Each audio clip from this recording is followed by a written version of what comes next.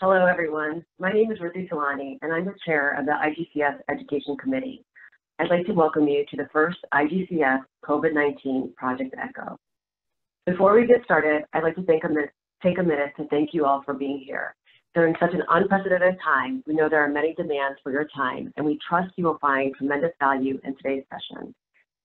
As information regarding the pandemic is continually evolving and the care of our patients is rapidly changing, our goal is to bring together the global community so we can discuss gynecologic oncology cases with special consideration to COVID-19.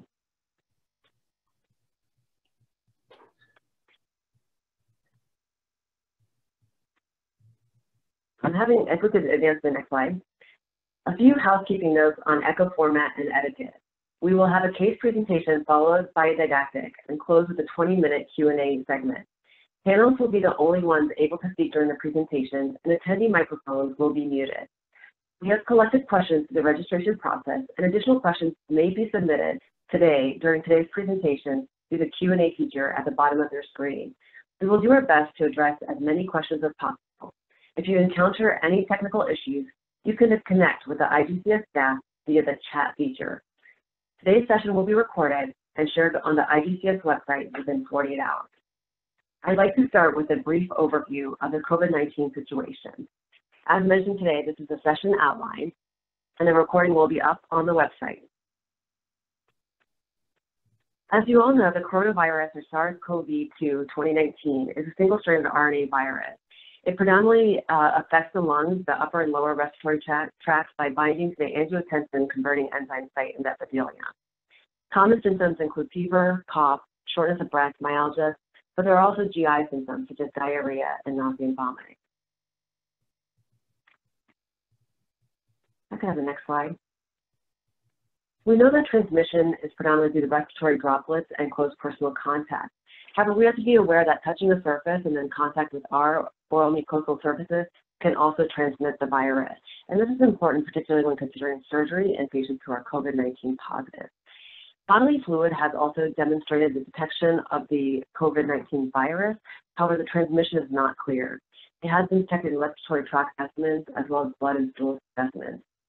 Of note, in pregnant patients who are COVID-19 positive, it has not been detected in breast milk and or amniotic fluid, but the transmission risk is still unknown. Viral shedding is highest earlier in the course and can occur in um, patients 24 to 48 hours prior to symptoms. It continues for up to two weeks, or excuse me, for seven to 12 days in mild and moderate cases and greater than two weeks in severe cases. Even after recovery, PCR positive uh, test can result up to four weeks later, but it's unknown if this is related to an infectious uh, condition. Just a review of the timeline, the first case was identified in December 8th in Wuhan, China, and as you can see from this timeline, it rapidly escalated. In March, on March 11th, the pandemic was declared by the WHO, and on April 2nd, over 1 million cases were um, confirmed. This number is continuing to escalate at a very rapid rate. This is just a general geographic distribution, and as you can see, this affects everyone worldwide, and we are excited to have many members from across the world here today, and we hope that your um, interactions help enhance the content of today's program. Just before we get started with the case, I just want to review some associated factors and mortality because this really impacts our gynecologic cancer patients. We know that the older patients are at higher risk for um, severe cases of COVID-19. And if we can advance the slide. We also know that comorbidities, particularly cancer, um, it has a higher rate of severe cases or even deaths from this condition. And we can advance the slide again and again. The impact on cancer patients has also been evaluated, although this data is still emerging. We know that patients who are either cancer survivors or active patients with cancer, that they have a higher rate of need for invasive ventilation, ICU admission, or death. And you can see from the survival curve here that patients without cancer have much improved recovery than patients with cancer. Next slide. I have the pleasure of introducing our esteemed panelists, Jihong Liu, from a professor and director in the Department of Gynecologic Oncology at Sun Yat-sen University in Guangzhou, uh, China, is joining us. We also have um, uh, sorry. We also have uh, Dr. Daniela Luvero, OBGYN consultant from Campus Bio-Medico uh, Hospital in Rome, Italy, and Rene Pareja, uh, professor of gynecologic oncology from Instituto Nacional de Cancerologia and Clínica de Oncologia Astorga in Colombia. I also have the pleasure of introducing our case presenter, Dr. Wendel Naumann, Professor and Director of Research in Gynecologic Oncology and Associate Medical Director of Clinical Trials at the Levine Cancer Institute in um, Charlotte, North Carolina. And our didactic lecture will be presented by Emma Rossi, Assistant Professor of OBGYN at the University of North Carolina at Chapel Hill in the United States. And we'll be speaking on our March 24th publication, How Long Is It to Safely Delay Gynecologic Cancer Surgery? Without further delay, I will turn it over to Dr. Naumann for case presentation.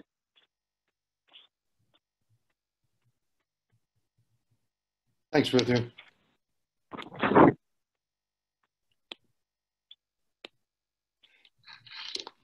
So please note that this case consultations uh, do not create uh, or otherwise establish a, a provider-patient relationship between any IGCS volunteer, clinician, and any patient whose case is being presented.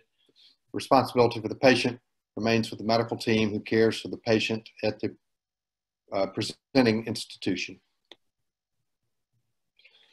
So we have uh, for our case presentation a 71-year-old woman who is postmenopausal and has had about one month of pelvic pain. Her past medical history includes type 2 diabetes, chronic hypertension, hyperlipidemia, and hypothyroidism. Her family history is relatively unremarkable. The CT scan shows a complex 9 centimeter right adnexal mass with omental nodularity and small volume ascites, which is not amenable to ultrasound drainage. Abnormal labs include an elevated CA125 at 579 and a slightly elevated CEA at 8. Physical exam, patient is obese with a BMI of 42. She is somewhat limited in her mobility with an ECOG score of 2. And on physical exam, the only finding is a 9 centimeter, slightly tender right adnexal mass. CT scan is shown. The mass looks highly suspicious for malignancy. So the plan of treatment was because the patient was somewhat frail and um, uh, we were a little bit worried about the ability for her to tolerate surgery. We were going to get a biopsy of the omentum to confirm the diagnosis.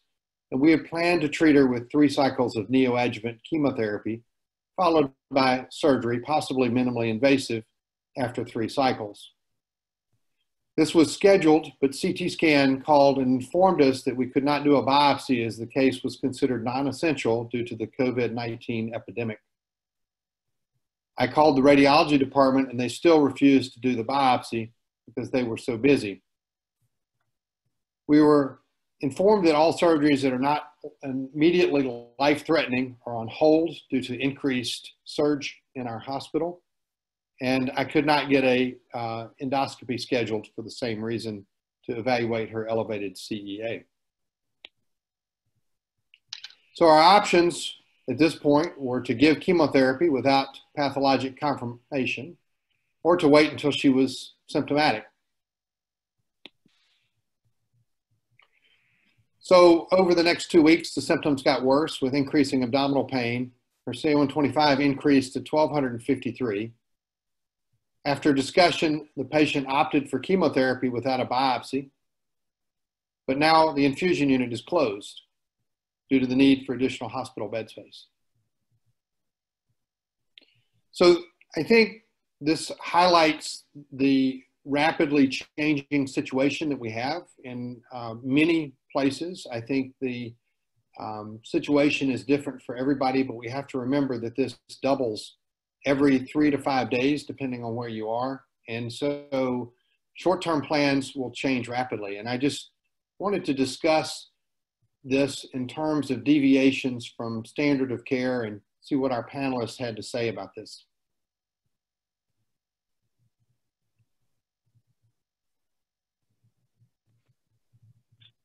We can open it up to the panel to make a couple of comments on situations that they've experienced regarding um, delay of care, particularly diagnostics. Daniela, being in Italy, I'd like to start with you. Yeah, and it's a very interesting case that could occur in each of our hospitals. So I agree with the choice to postpone the big surgery in this moment in patients with ovarian cancer in advanced stage, like this case with omental involvement with peritoneal carcinomatosis in favor of neoadjuvant chemotherapy and later surgery. In fact, in this particular moment, when we're planning a treatment for our patients, it's mandatory to consider multiple factors, such as comorbidities, age, immunostatus, because first of all, we should to prevent that patients becoming infected, but also we should preserve the hospital resources uh, for COVID-19 patients. For example, the intensive, intensive care unit beds or ventilators or blood products. So the risk uh, to start a treatment without a specific diagnosis could lead to an incorrect diagnosis.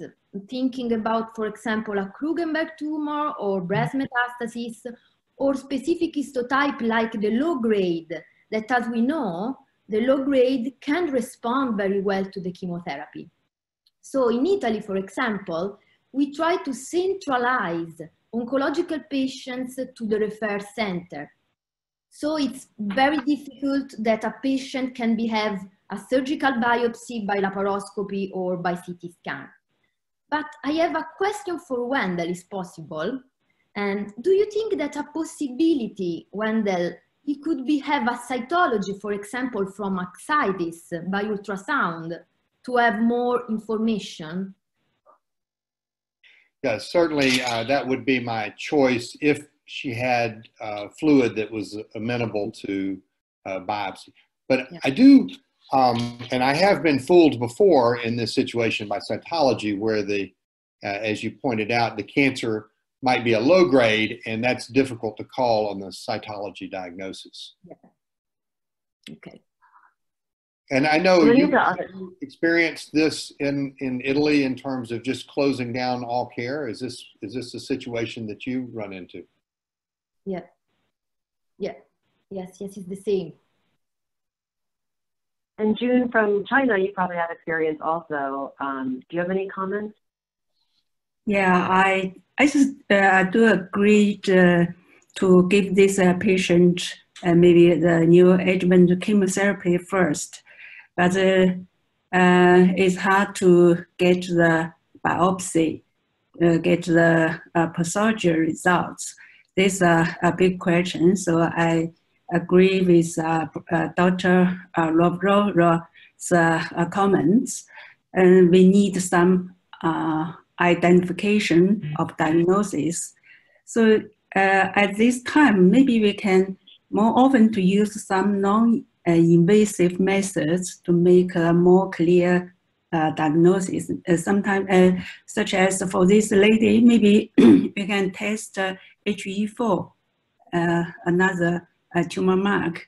If HE4 increased, um, obviously, maybe just indicate uh, there's a malignancy and also high grade uh, malignancies. Uh, I think uh, there's another way. Uh, also, I think uh, could, uh, could we just uh, give the patients neoadjuvant chemotherapy first cycle if uh, uh, she is a, uh, uh, had a good response to the chemo, maybe to help us to make the right diagnosis. Thank you. So what we're going to do next is a couple of poll questions. If we can move to the next slide.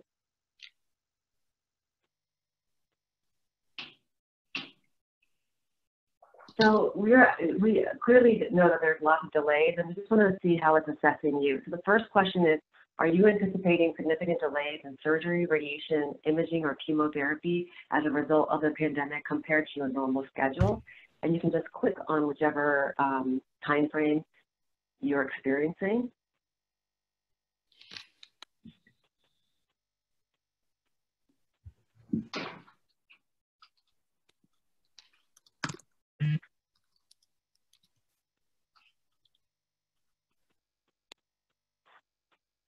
And then the second question, which you need to scroll down for, um, how have these changes impacted cancer care?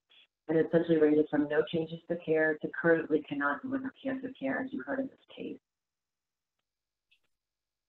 And while you're voting, I'd like to ask Dr. Pareja if he has any comments on, on these questions that we just posed to the group before we get to the didactic.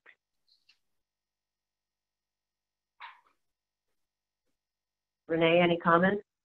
Um, according to the presented case, the only option now for this lady is surgery. And even during COVID-19 pandemic, you will have to perform some, some surgeries.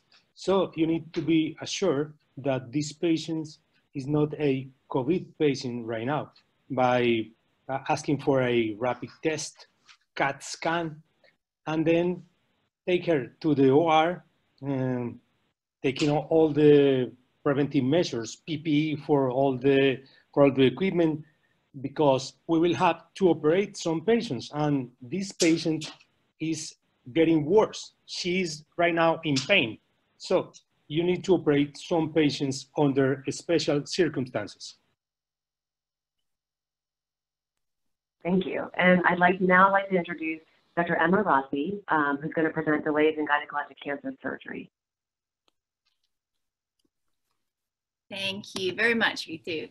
Um, in advance, I have no conflicts of interest to declare. So why are we talking about delays in surgery in this era? Um, well, obviously, we want to preserve personal protective equipment. We want to keep our patients out of the hospital and ideally as many staff as possible out of the hospital or alternatively resourced elsewhere during this pandemic. And we want to preserve other resources like inpatient beds, ICU beds, and ventilators, keep our patients out of the emergency room from a postoperative complication readmission, for example. And in order to facilitate this, most healthcare systems are implementing some kind of restrictions on elective surgeries. And and, elective is deemed as no harm will occur if the surgery is not performed. But then there are clearly surgeries where harm will be incurred if it's not performed, but there's some there's a time window in which it's safe. And we often healthcare systems will refer to these as um, priority type cases. And cancer cases are often included in that. And so depending upon where your health system is in relation to this anticipated or experienced surge in COVID patients, there may be anywhere from a restriction to, on all surgeries, as we heard in the case presented, to sort of a gray zone where priority type cases are allowed. And how they define that is if, once again, if harm will occur if the surgery is not performed within a certain time period. But the decision making about whether that harm will occur is left up to us, the surgeons, to determine. Um, so what are some of the harms that potentially could occur? We'll advance the slide, there we go. So for, from the patient perspective, there's certainly some concern, uh, some fear and anxiety regarding will the cancer spread? Will it progress? Will it become worse? Will I something that might have been curable now will be incurable. And many of our patients don't know their diagnosis before surgery, um, or certainly they may not know their stage and therefore prognosis and future therapies. And us as surgeons are also concerned that potentially something that right now is operable might become inoperable if we wait. We're worried about not advocating for our patients and their needs, which may be different from other patients. Um, and there's some personal concerns regarding medical legal issues, some concerns regarding um, um, uh, our livelihoods being put on hold. And then uh, something that's a little, uh, that's something that I could say I'm experiencing, which is somewhat of a feeling of impotency. When you're canceling cases and stopping doing work during a time when our colleagues are actually ramping up what they're doing. So these are perceptions of, um, of potential harms. But what's the reality? Well, there is a little bit of data to look at this. Um, in endometrial cancer is a really nice paper that was published a few years ago by Dr. Shalowitz. This is an American study, so looking at a US population where delays in surgery are usually driven by uh, a confounding variable such as patient comorbidities or some other systematic issue which is likely to confound and portend a worse prognosis from cancer. Um, what Dr. Shalowitz's group did is they separated out endometrial cancer cases in the National Cancer Database, which is a large nationwide database capturing about 70% of cancer surgeries. And they separated out low risk cancers, so grade one and grade two cancers, from high risk cancers, grade three and non endometrioid cell type. And that's relevant because that's kind of how we think about these cancers when we're determining priority. Um, what they looked at was the survival um, for every week of delay from the time of diagnosis. And what they determined was that, first of all, there was not upstaging of cancer. So, cancers for whom there was a delay in surgery were not more likely to be advanced cancers than cancers who had their surgery performed earlier. And for the low grade cancers, they saw they observed a safe period of waiting of about eight weeks. Um, and if you look on the slide, you'll see the bottom two uh, figures, the bottom two graphs are the adjusted um, measures and adjusted for various confounders that might portend a worse prognosis like stage, um, race and ethnicity, insurance status, comorbidities, etc. Um, and so the figure on the bottom left is the low risk cancers. And for about eight weeks, there's a period, it appears a period of safe waiting before uh, mortality goes up with waiting. Interestingly, for the high risk cancers, that period, safe period of waiting appears much longer, meaning that delays in surgery do not appear to impact survival um, for, for several months, actually four, uh, more than four months, 18 weeks before they saw that mortality was, was higher. Um, why might this be the case? Well, when we think about low risk and low grade cancer, cancers, these are cancers that are commonly able to be cured by surgery. Um, and so anything that's going to delay that potential curative therapy or impact that curative therapy being delivered is probably going to have a greater relative impact on those patients' outcomes compared to a high risk cancer where there's multiple other non-surgical factors that are impacting the, how they will or will not survive their cancer. And so while this may be a little counterintuitive, what I learned from this data is that when we're triaging our, our cancer cases either in the out in the outset or in the aftermath of this uh, pandemic, we, I, we probably shouldn't prioritize high risk endometrial cancers in the timing ahead of low, low risk cancers. Uh, this data was also supported by a systematic review in endometrial cancer um, uh, cases that was published earlier this year. So this, in this systematic review, they looked at multiple studies evaluating outcomes with delay in endometrial cancer surgery, predominantly US centers, but also a couple of Canadian center trials. And what they found, they concluded, was this eight week period seemed to be a safe period for waiting, after which they did notice some worse outcomes. What about with ovarian cancer? This is more relevant to our case. Well, is it safe to wait? Well, with ovarian cancer, we clearly have a medical alternative to surgery, and that's neoadjuvant chemotherapy. But in normal times, there's a nuanced decision making regarding when we implement neoadjuvant chemotherapy versus primary cytoreductive surgery. Um, uh, these are not normal times though. And so we're having to call we're having to change our, our thought processes a little bit about who we do and don't think are candidates for one or the other. For some it's an algorithmic approach. So if your if your health system's allowing you to do some surgeries other than emergent surgeries then some some clinicians are looking for factors that portend a longer hospital stay or maybe a, an admission to a nursing home, which is a very high risk um, activity right now, or an excessive likelihood of admission to ICU. And if a patient has factors that that would predict that that might be their outcome, then they then there's a much more liberal application of neoadjuvant chemotherapy. And then the other alternative option is neoadjuvant chemotherapy for all uh, apparent advanced ovarian fallopian tube primary peritoneal cancer. Well, is that safe? Is it safe to give that, to give medical therapy or start with medical therapy for all advanced ovarian cancers? Well, there's now three randomized control trials that have uh, have measured the outcomes of, um, of uh, neoadjuvant chemotherapy versus primary cytoreductive surgery in advanced uh, ovarian cancer. I've, I've listed the data here from the Lancet Oncology publication, which pulled the results of two of those large trials. And what the conclusion of these three trials is that neoadjuvant chemotherapy is non-inferior with respect to overall survival and progression-free survival for these advanced diseases. Now, clearly there's some small, small uh, font there in the publications. There's some subgroups who do better with one treatment modality versus the other.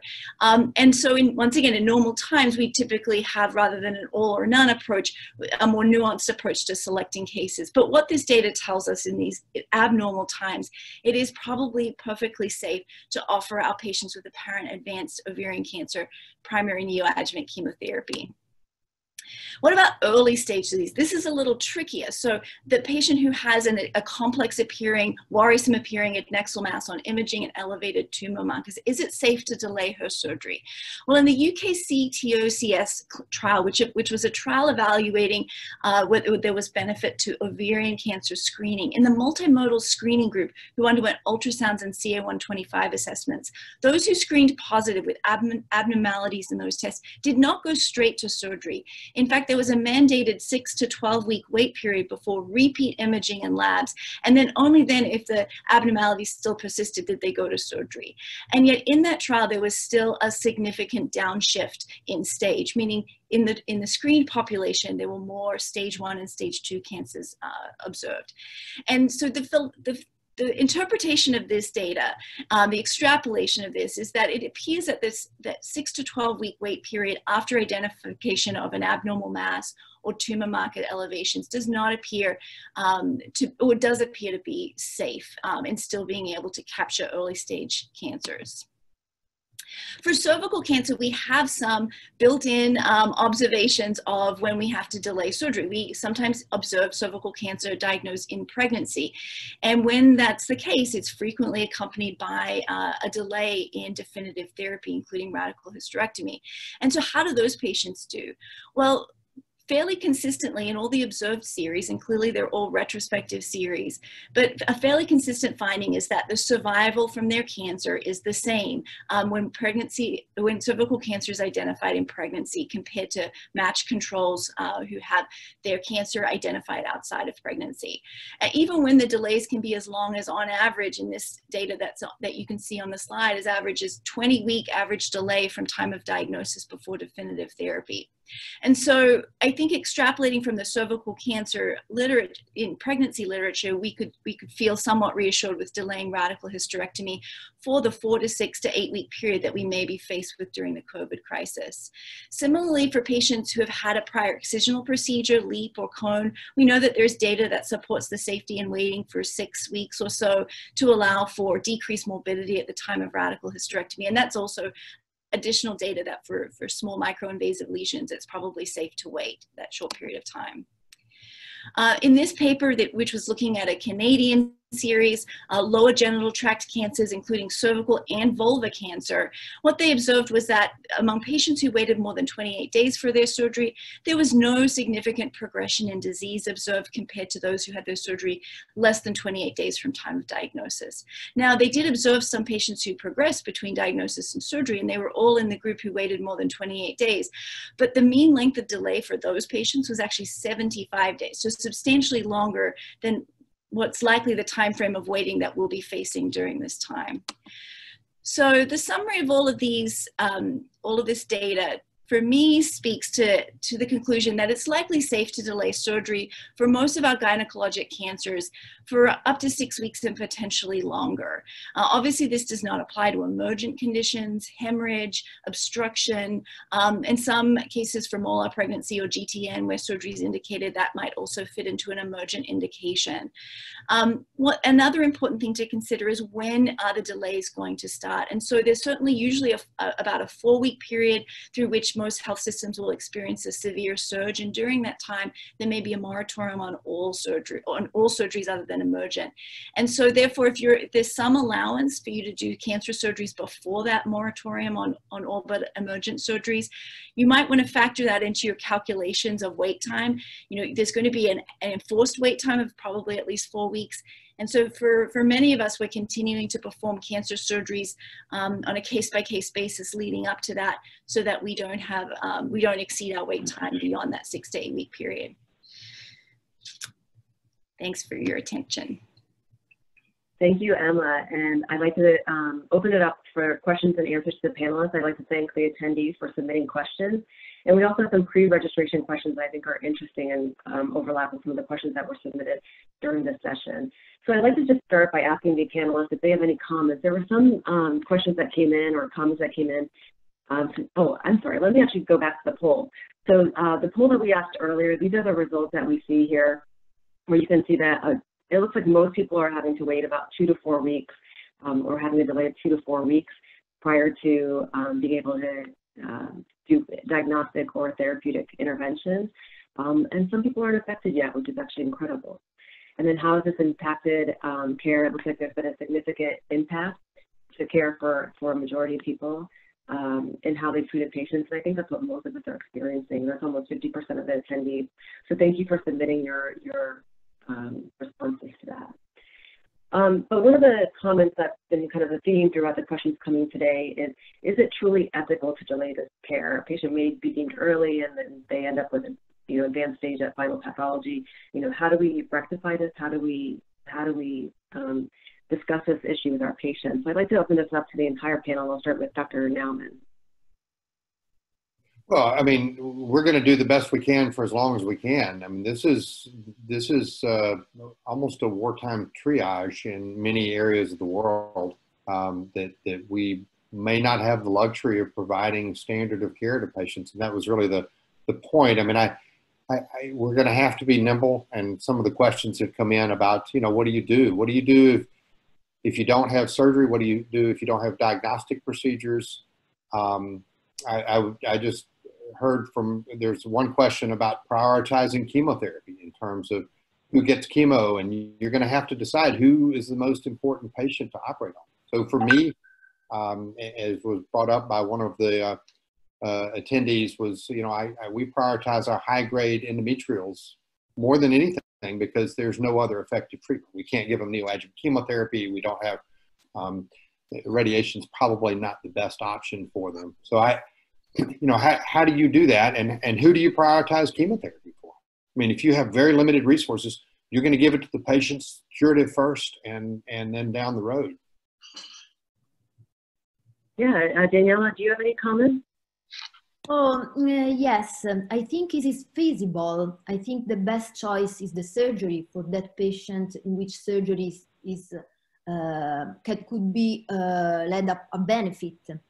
So I think it's, uh, um, it's not possible worldwide for the COVID-19 pandemic.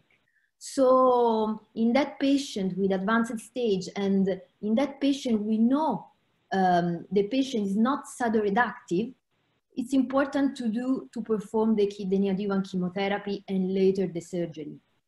So for example, in other cases, for example, the endometrial cancer in the stage one we can perform, for example, a hormonal therapy. So um, in, uh, in, for example, for stage 1A, we perform the hormonal therapies or for uh, all uh, dysplastic lesion in, in cervix. For example, we can uh, postpone the surgery later. So I think, but six uh, weeks, I think is uh, the time, no more, to postpone the surgery. Four, yeah, I think I think the the comment about it being a kind of wartime um, mentality is right. You know, we have to preserve resources because even with surgery, you know, you're not just using ventilators, but you're using blood products, you're using hospital resources, nursing. Well, not only that, though, you're you if you operate on this lady, it means that you are not going to operate on a high grade endometrial. So you're going to have to choose. I mean, I, each person you're going to have to choose who is the most important to operate on there, and that's what we're doing. So when we reshuffle our patients, we have limited resources. You know, we go down the priority list. This is rational. And I will share some resources. I will share some resources at the end that are available that comment on, you know, when it's safe to prove safe to delay, just like you mentioned, Danielle, about the dysplasias and maybe the low grade endometrial cancer. We have a pathologist who's part of this webinar who actually um, made a comment about the importance of histology, which I think we all agree with. There was also a question submitted I'd like to pose it to, to Dr. Liu. Should we avoid frozen sections at this time if we are operating on a patient? Uh, so I, I think it's uh, great to have uh, temporal uh, categories to just triage the patients uh, to have a different management. So, uh, like just for gynecological cancers, I would prefer to manage the patients according to the uh, clinical stage and the different types of cancer. As for example, for early stage ovarian cancer and endometrial cancer, we can use, uh, we just should put uh, these patients uh, as a prior prioritization to undergo surgery, but uh, mm, not for early stage cervical cancer because uh, cervical cancer uh, just progress uh, slowly, um, especially for the stage 1A and the stage 1B1. Uh, but uh, however, for those patients with advanced and recurrent disease, I think the chemotherapy may, maybe is a, a, a best way for the alternative uh, uh, treatment. Uh, also, the radio, radiotherapy is an alternative option for the cervical cancer and the endometrial cancer. Uh, also, uh, for the endometrial cancer, just uh, like Daniela mentioned, you can use a hormone therapy to treat them to, for the delay of surgery. So just I think that uh, for the different types of cancer, for the different uh, clinical stage, we should use a different strategy uh, to manage them. also, I think uh, for those are very uh, like this lady, can we try to use a PARP inhibitors because that's an oral medication? Can we use that to treat the this uh, maybe that's a, a late uh, advanced uh, ovarian cancer patient, uh, something like that. Yeah, that's a, good, my that's a great segue. There were a lot of comments on using oral alkylating agents that have come through. Um, you know, if the patient's BRCA positive, is it better to use a PARP inhibitor either sooner or even, you know, prior to chemotherapy to avoid immunosuppression and visits? What are what are the panel's thoughts on that? I'll start with you, Emma. Um, yeah, I mean, I think it's intriguing. I think during periods of high community um, levels of COVID 19, when you're very worried about the patient, leaving their protected home, I think it's valid. Um, clearly, we're functioning outside in a data free zone when it comes to utilizing those agents, but it's almost a little bit of a preoperative window study um, being enforced here in practice to see how patients respond to these agents. Mm-hmm prior to you know a definitive management. And I think so. I think if it was a high baseline prevalence concern about bringing my patient um, into you know a, a, high risk setting, then that might be an option that I consider. Um, but but but but it certainly wouldn't be my first option. Rene, do you have any thoughts on that? Yes, uh, one thing uh, which is important to consider is what moment of the pandemic are you facing? The hospital or the country. If you are in the first part of the curve, you can operate your patients and take advantage of the availability of operating rooms, anesthetics, etc. When you reach the peak of the pandemic, definitively you will not have resources. And I think it's the moment to start delaying some treatments. But I think this is tricky and depends on the hospital on the country, on the resources, all, all of those things have to be considered. Another issue is in some regions of Italy, they declare COVID-free hospitals in order to avoid contamination with COVID cases. And those hospitals uh, uh, used to, to handle cancer cases. And the general medicine and the general um, consultations are managed in another hospitals. So it is important to try to reserve a free COVID environment in order to keeping uh, administering oncological treatments. No, that's a great point. And several people have asked on the questions that have come in is um, what is the standard or what is your institution doing for pre-operative COVID testing? At our institution, we are not federally doing it. We're screening patients, but we're not universally testing for surgical patients. Does anybody else have a different or um, separate experience? Are you testing patients if they show symptoms or have been exposed before surgery? We are. I assume that's probably general practice if, if the testing is available.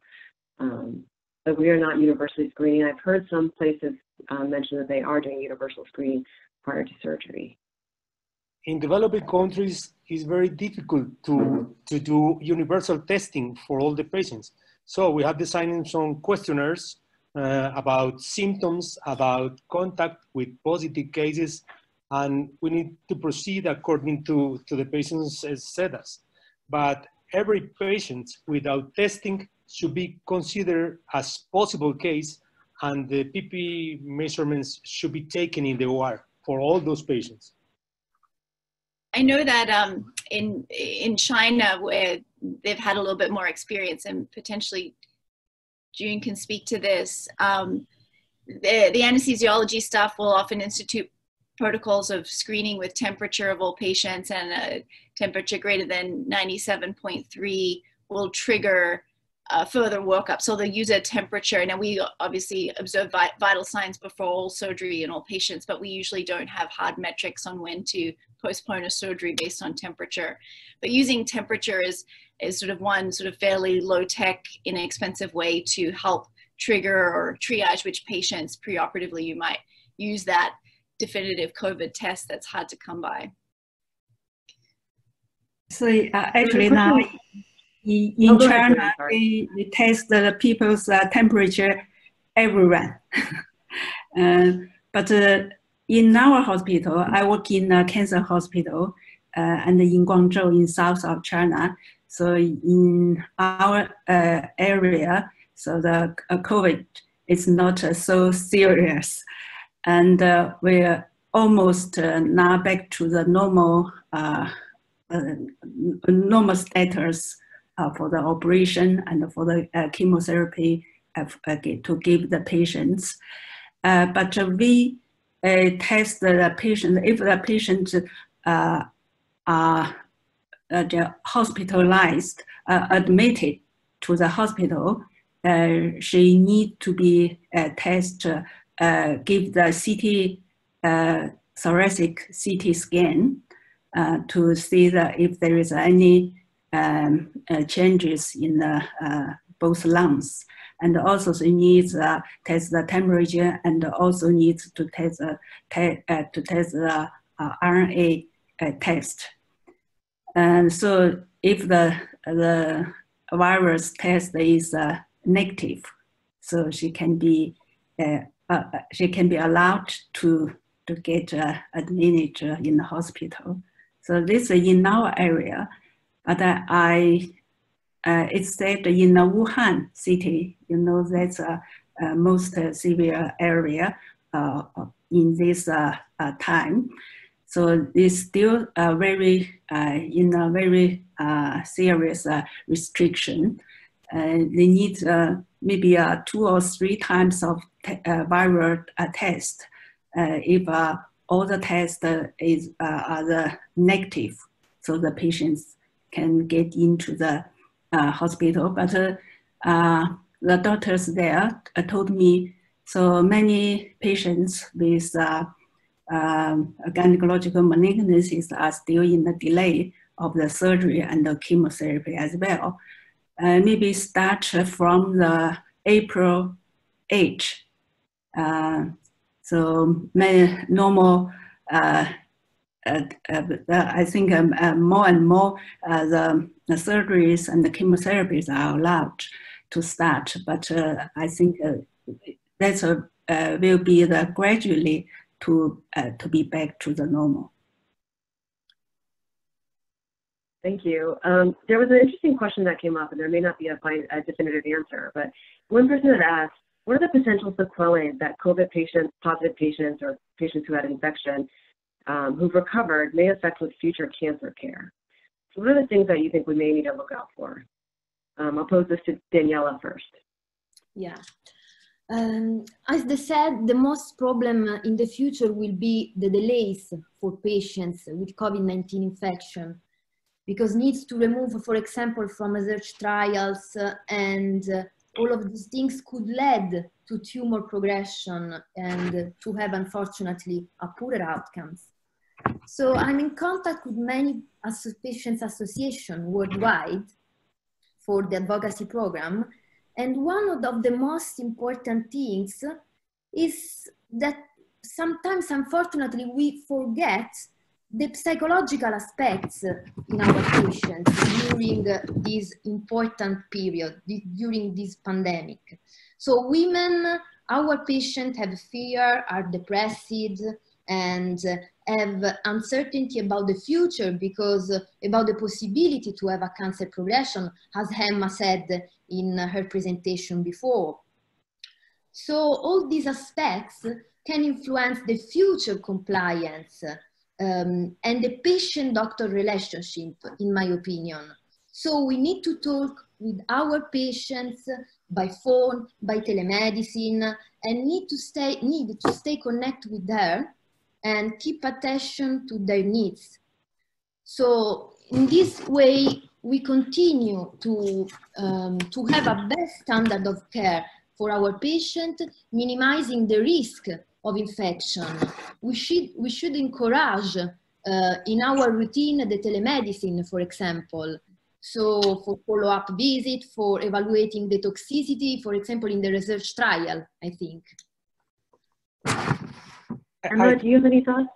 Oh, go I, ahead, Rene. I'm sorry. Yeah, I think it's important during this pandemic to discuss all the cases into a multidisciplinary, multidisciplinary DISPO conference because there is a shared responsibility among the, all the members of the therapeutic team.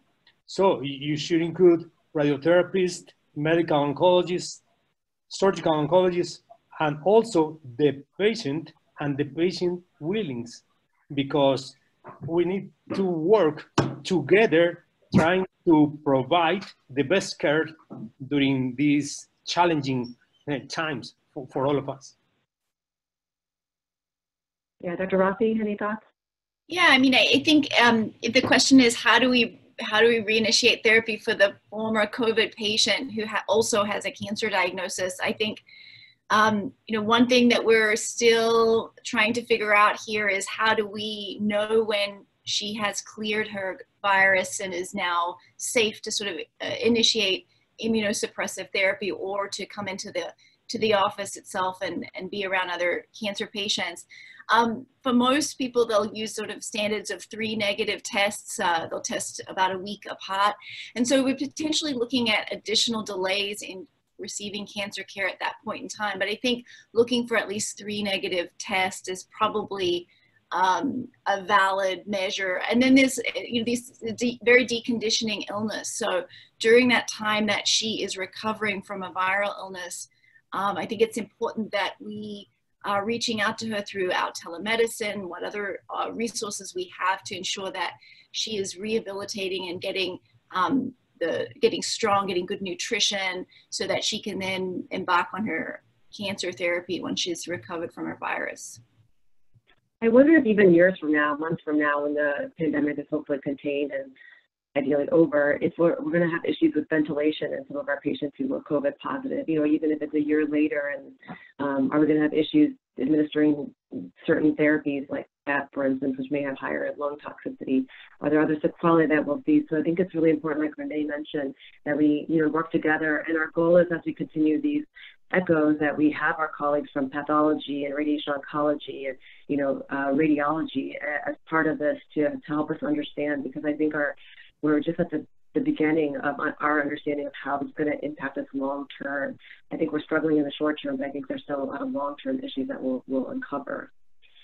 There have been several questions about cervical cancer that I think are interesting, and some of the questions are regarding locally advanced cervical cancer. And I'll pose this to you first, Dr. Pareja. Is should we do, you know, higher doses and less frequent treatments for these patients, or should we you know, for brachytherapy? Should we do nine gray in two fractions as opposed to seven gray in four fractions?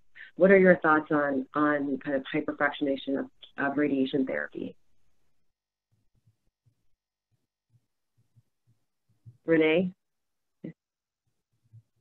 we were discussing about hypofractioning uh, with our Department of Radiotherapy, and they're willing to start to do it with some selected patients.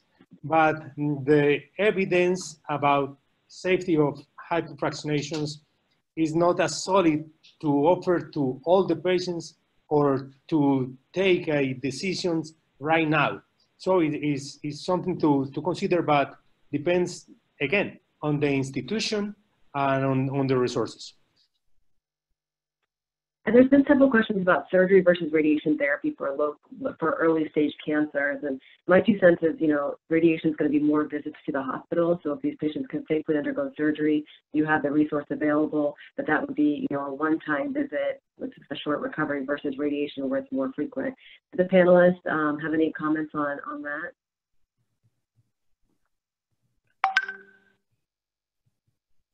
I think it's important to consider in low resource settings because if the patient has to go to the hospital 20 times for 20 sessions is 40 use of public transportations because it's not common to have a private vehicle in Latin America. So 40 expositions to metro, to, trans to buses. So we should consider if is uh, worldwide to provide these, to, to administer mm-hmm. radiotherapy to, to those patients with early stages. Another issue is, I have no doubt about postmenopausal patients, but I have several doubts for premenopausal patients to, to offer her radiotherapy. And then um, uh, we've had also had a lot of questions about the safety of minimally invasive surgery. So Wendel, I'll pose this to you. Can you comment on the safety of laparoscopy or robotic surgery in the setting? Yeah, and I, I noticed these questions, and and uh, some have commented that they don't do any minimally invasive surgery. I think there's um, there's certainly some risk to the OR personnel, and as was pointed out, uh, the the the screen for symptoms. Many of these patients who have the virus are asymptomatic. Uh, there is certainly potential for aerosolization with laparoscopy, and there's a joint statement out that we probably shouldn't do laparoscopy on patients who were known or suspected to be COVID-19 positive. But right now, our practice is to do the laparoscopic surgery in the patients who are not known to be positive. We are lucky enough to, to have uh, N95s uh, in the OR for all personnel on the um, right now uh, that we reuse. And um, so we try to get them out of the hospital. Nobody gets admitted. So we do outpatient laparoscopic surgery for these patients and send them home. Um, we don't see them. We see them only in the OR, and then they go straight home from the PACU. So, um, I, you know, I want to caution against some of the fear that's present um, regarding of minimally invasive surgery in the setting of, of the coronavirus. You know, a lot of it is uh, largely, in fact, all of it is speculation. There's been no reported cases of transmission of COVID in the OR through transmission via um, aerosolization or smoke uh, of smoke plume, for example. Uh, smoke plume is created with many laparotomy surgeries as well when we use electrosurgery in open cases. So it's not, it's not singular to the laparoscopic experience. And I think it's really important to understand that um, minimally invasive surgery, as Dr. Naumann pointed out, is associated with less use of vital hospital resources, particularly hospitalization, blood products, and the potential for an ICU admission or a readmission to hospital. And so in the absence of any data that supports that this is a, a, a feasible route of transmission, and keep in mind, even with other viruses, we've not, there's not being documented transmission by a smoke plume um, for other viruses, uh, even those that are bloodborne. Uh, so, so in, in this setting, I think we should be careful about um, overreaching statements of um, bans against minimally invasive surgery, for example, even in COVID positive patients. I think if you're operating on a COVID positive patient, clearly um, that's when uh, I mean, we should have ideally have practice universal precautions on all patients, but knowing that PPE is limited in many settings, um, certainly in patients with documented COVID-19, having personnel um, minimize time in the OR around the time of intubation because that is the that is the time when transmission is the highest. So have only the necessary personnel in the room during intubation, and have other personnel fully fully dressed in in full PPE with appropriate donning and doffing procedures um, I think is probably, but, but not excluding minimally invasive surgery, which will get that patient out of the hospital um, back into the community uh, faster. And to Dr. Rossi's point, we, we really need some documentation if, if the peritoneal cavity is even contaminated with this virus. We don't know that. If somebody has a protocol to test patients, that would be very helpful information to us, and, and particularly if you can quantify it. And uh, if I can, just a brief uh, comment about this because uh, recently uh, Italian and Chinese team published on Annals of Surgery a paper about the risk of minimal invasive surgery versus the conventional open approach uh, during COVID-19. So some recommendations uh, uh, in this paper to reduce, for example, the escape of gases, because uh, in general, as we know, previous researches have shown that uh, the, in general, laparoscopy and electrical equipment can lead to aerosolization, as Emma said, uh, for example, for hepatitis B, HPV, HIV. So probably due to pneumoperitoneum. So some recommendation could be use the specific safe devices during laparoscopy, filters or su suction devices, and keep the pneumoperitoneum pressure on the lowest possible and to reduce the Trendelenburg position time. And I think that uh, due to the lack of data, ideally, ideally we should consider laparoscopy for selected cases where clinical benefit uh, to the patient exceed the risk of potential infections. So ideally, the best, uh, the best thing could be to test each surgical patient. In Italy, we start to test each surgical patient since two days. So I think is yes, ideally is the best. Thank you. We're, we're coming to the top of the hour, and I know that this will be an ongoing discussion. Um, Kathy, if you could pull up my slide. I just want to share some resources with you that are available. And once again, these will be available on the website. I'm not going to go through them, but there are some comments here um, on recommendations. This is our website here that links to the COVID-19 specific resources. Um, and this will be on the slides available for you. The next slide is a um, uh, publication by the International Journal of Gynecologic Cancer, which Dr. Pareja was part of. And it just talks about some guidelines or considerations for outpatient clinic visits and management of disease, which I just summarized here. And obviously, cl clinical decision making is going to have to go into this.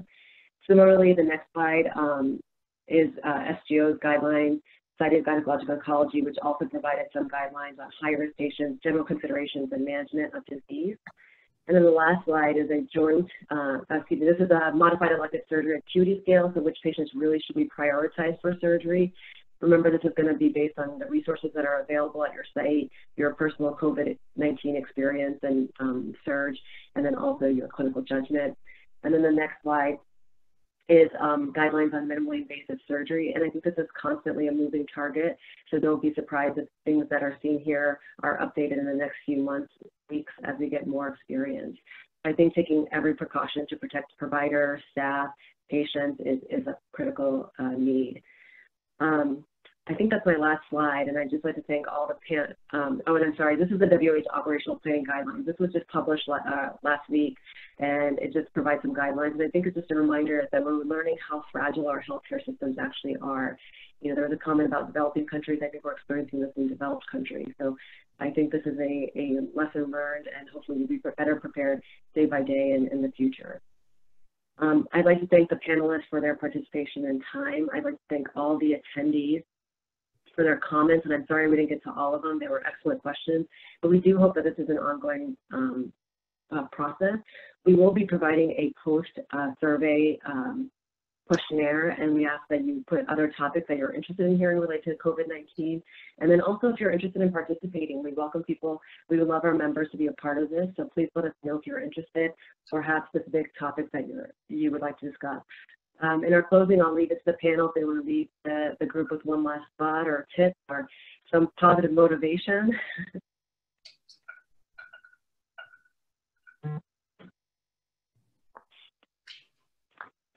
And I'll start with, before I before I turn it over to the, the panelists, I'd also like to thank the IGCS staff. It was amazing and this in such a short time frame.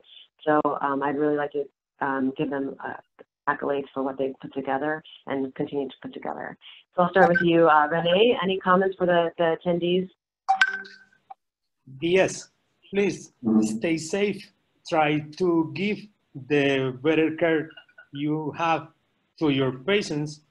And don't forget that we are doctors and we are in the front line on the treatment of patients with COVID. So we need to take care of us rather to, to take care of the others. June?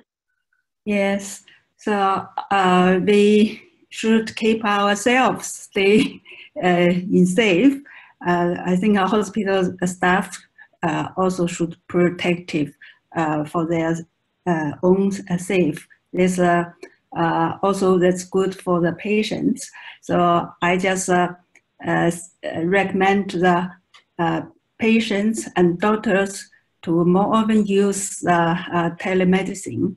So in our hospital, we, we have a iCloud hospital app. So we just uh, talk to the, our patients uh, in the iCloud hospital more oftenly so we can give patients uh, uh, advance. So just keep well.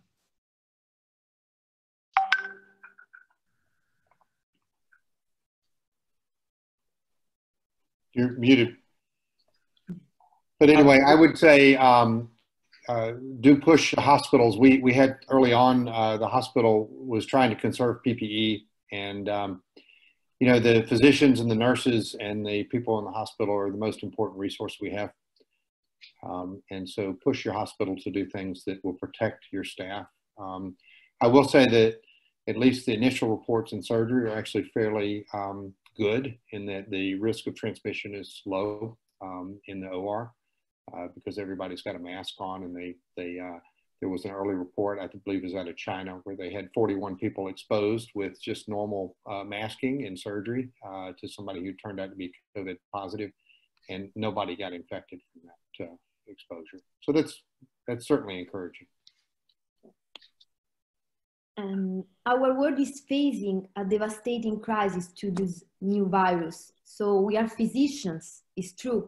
But first of all, each of us is a person so please, you don't forget to talk with your patients and stay connected with them. And it's really important to continue to share our experience by webinar, by teleconference to improve the approach to care. Everything is gonna be all right, friends. Sorry, I got disconnected for a moment, but uh, I'd like to close and thank everybody once again. And we'll look forward to, uh, to the next to the next COVID 19 echo.